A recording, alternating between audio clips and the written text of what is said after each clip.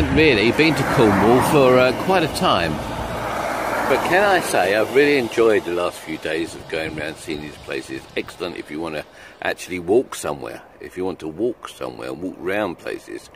Uh, last week of April, hopefully the first week of May is good.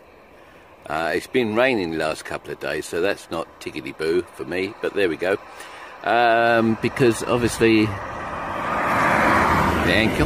Uh, obviously, somebody, thank you. Uh, it's, obviously, somebody, thank you. Yes, thank you.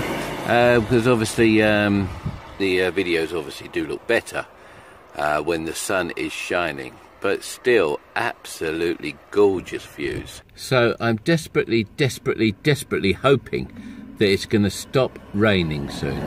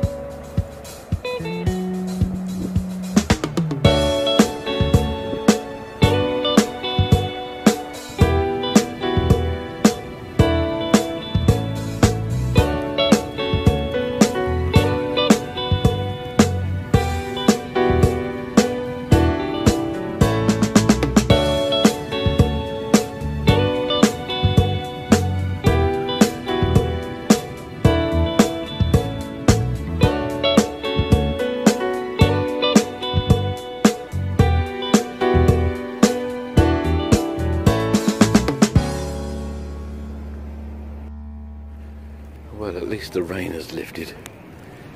Hopefully tomorrow, nice sunny day with the blue sky coming in well.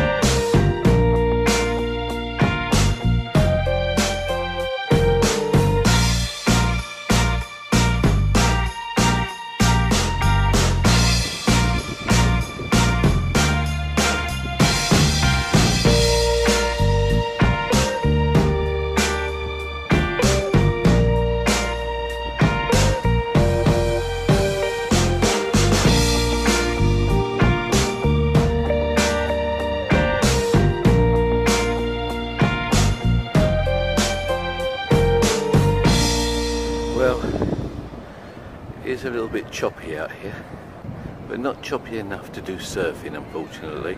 But people are trying, they're trying.